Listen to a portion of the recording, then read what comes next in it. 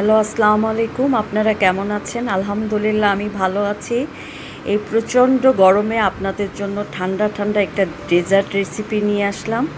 চলুন রেসিপিটি দেখি। এখানে আমি তিনটা আম নিয়ে নিয়েছি, পাকা।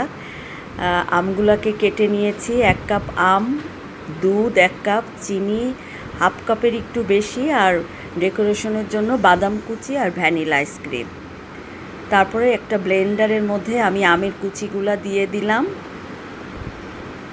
তারপরে এটার মধ্যে আমি চিনি দিয়ে দিব। চিনিটা আপনাদের স্বাদ অনুযায়ী দিতে, বাড়িয়ে কমিয়ে দিতে পারেন। তারপরে এটার মধ্যে দুধ ঢেলে দিব। দিয়ে এটাকে ব্লেন্ড করে নিব।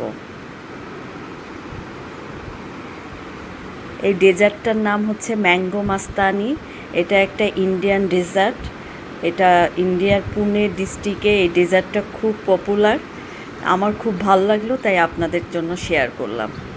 প্লিজ এটা বাসায় বানিয়ে নেবেন। আর এখানে আমি দুই টেবিল স্পুন হচ্ছে ই দিলাম। বড় চামচে দুই চামচ ভ্যানিলা আইসক্রিম দিয়ে দিয়েছি। দিয়ে এটাকে আবার ব্লেন্ড করে নিব। আর এই ডেজার্টটা আসলে অনেক মজা হয়েছিল। আপনারা বাসায় বানিয়ে খাবেন।